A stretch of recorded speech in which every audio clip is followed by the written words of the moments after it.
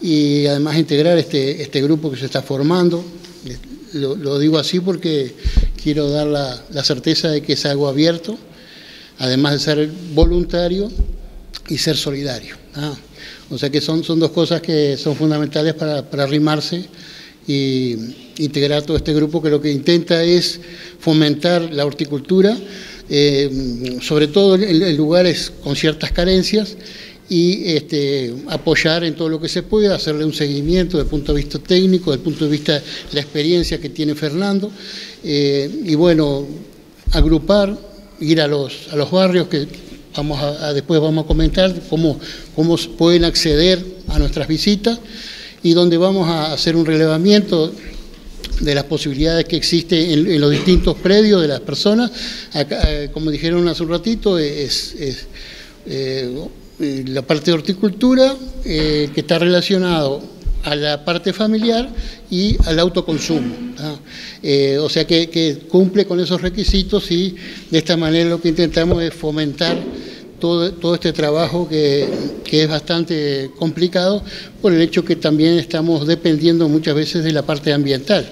a pesar de, los, de que muchos cultivos son protegidos, utilizando distintas formas de, aislarnos un poco del, resto del, clima, eh, también sufrimos este, problemas desde el punto de vista ambiental. Es un gusto, digamos, hacer esta conferencia que tiene, vamos a decir, casi que, es un lanzamiento del proyecto, la Rural de Tacuarembó, en lo que tiene que ver con este proyecto de huerta familiar, forma parte de la ruralidad. Eh, hemos estado en, continuo, en continua construcción con, Fernando y, las personas que nos rodean, eh, viendo los pormenores del proyecto y, entendemos que esto fomenta el, amor a la tierra y el arraigo de las personas que muchas veces pueden estar distribuidos por diferentes lugares del departamento eh, y a veces por desconocimiento o a veces por inexperiencia, eh, las personas no, bueno, no, se ocupan de tener una, una, quinta, una huerta.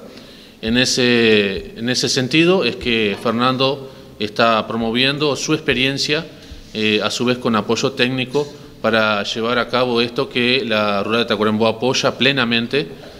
Y bueno, vamos a seguir construyendo para llegar a buen puerto eh, en diferentes lugares del departamento, como digo, y no solo en Tacuarembó, con este proyecto.